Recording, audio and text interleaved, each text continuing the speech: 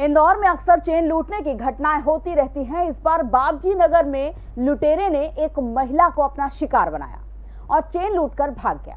पूरी वारदात सीसीटीवी कैमरे में कैद हो गई है। लसुड़िया थाना क्षेत्र में बाबजी नगर निवासी बावन वर्षीय संगीता शर्मा से एक बदमाश ने चैन लूट ली। महिला ने पुलिस को बताया कि शाम करीब छह बजे वो बाज़ार से घर लौट रही थी, तभी एक बदमाश पैदल उनके पास आया और कुछ बोलने लगा। मैं घबरा गई और दौड़ी, इतने में बदमाश ने चैन छीन ली। शोर मचाने पर वो फरार हो गया। महिला को पुलिस वालों ने आवेदन लेकर रवाना कर दिया और इस मामले की कोई जाँच नहीं की। मंगलवार को महिला ने सीसीटीवी फुटेज इकट्ठा किए और पुलिस को दिए। मंगलवार रात पुलिस ने अज्ञात लुटेरे के खिलाफ लूट का केस दर्ज कर लिया है।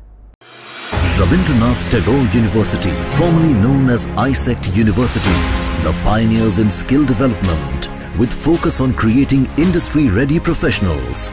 Join India's premier skill-based university, Rabindranath Tagore University. संगीत की स्वर लहरियों से सांस्कृतिक ताने बाने तक चंबल के पीड़ों से नक्सलवादियों के गढ़ तक झोपड़ी से महलों तक ठेलों से मेलों तक पगडंडियों से सड़कों तक गाँव से शहरों तक व्यापार से उद्योगों तक। राजनीति से कूटनीति तक। दखल न्यूज़। आपके हक। में।